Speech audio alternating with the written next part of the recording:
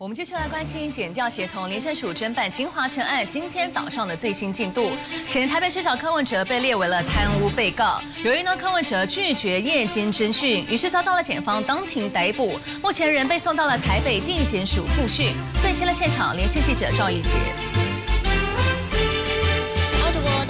关心前民众党主席柯文哲昨天晚上十二点四十分，人走进台北地检署之后，算是完成金华城弊案最后一块拼图。那么大家想象中呢，他整个拼完成弊案，陆陆续续在今天就会结束。但是昨天呢，柯文哲走进这个台北地检署之后，他凌晨两点半的时候是向检察官当场表示，他想要拒绝夜间侦讯。那当然对检察官来讲，是跟柯文哲说，你可以先休息一下，我们待会。再继续，但是柯文哲表示呢，他从前一天早上七点多搜索程序呢一路在进行当中，已经超过十九个小时了。他非常累，想要离开台北地检署，但是检察官说，如果你直接离开的话，我们会认为你有勾串逃亡之余，所以呢会直接将你当庭逮捕。所以当时检察官凌晨两点半的时候当庭逮捕了柯文哲。对于柯文哲来讲，他当然相当的惊讶，他是立刻跟律师讨论之后申请提审，也就是说呢，他想要。法院想要去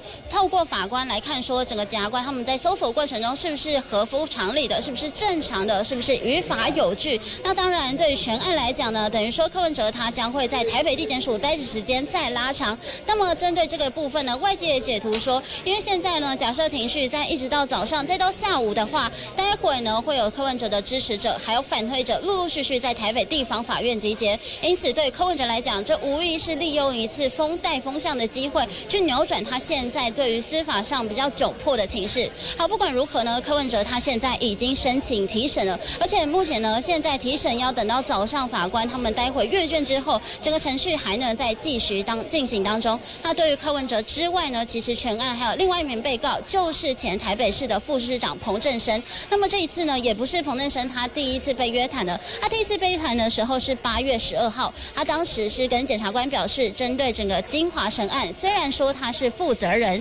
但是都是柯文哲交办的。他当时就是觉得金华城案容积奖励有问题，所以当时拒签公文。所以你可以很明显看到，柯文哲跟彭振生他们两个人说辞不一，到底是谁说谎，到底是谁卸责呢？对于检来来讲，就是这一次搜索他们要调查的重点了。那么呢，大家也好奇说，那柯文哲从昨天早上七点多到现在，怎么会整个程序拖那么长呢？最主要就是因为他们两个进到廉政署之后，分别进到不同的房。间讯问，那当下呢？假设柯文哲跟彭振生他们两个说辞有不一样的话，如果彭振生把他推给柯文哲，检察官可以当下立刻去问柯文哲说是不是这样子，去厘清说两个人比对的证词是不是一样。那么今天上午的最新进度就是彭振生他已经被检察官声押进监了，而柯文哲呢，他目前的司法程序就是申请提审，他待会会带法官来阅卷之后来看整个搜索程序是否做正常。而柯文哲他有可能拒保还是无保请回吗？东森新闻将会持续在。台北地检署为您掌握最新的状况。以上向最新，再把镜头交还棚内。